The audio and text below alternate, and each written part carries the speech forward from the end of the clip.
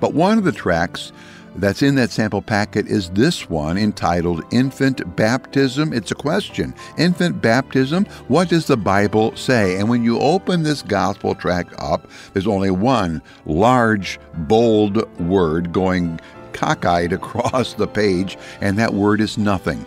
The Bible says nothing about infant baptism, and we put this tract out for this simple reason. So many people are trusting their baptism as a baby as the reason why their sins are gone and they'll be allowed into heaven. They're so confused.